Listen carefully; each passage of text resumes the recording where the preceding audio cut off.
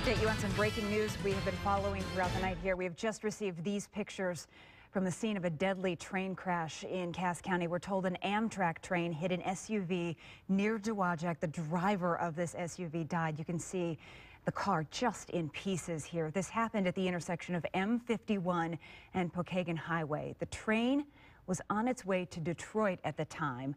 We're told no one on that train was hurt, but again, the driver of this vehicle, you can see from these pictures. Uh, you can see why they've died in this crash. But uh, crews still on the scene right now trying to work to clear the tracks. We're going to pass along any updates that we get right now at this point on our WSBT 22 mobile app.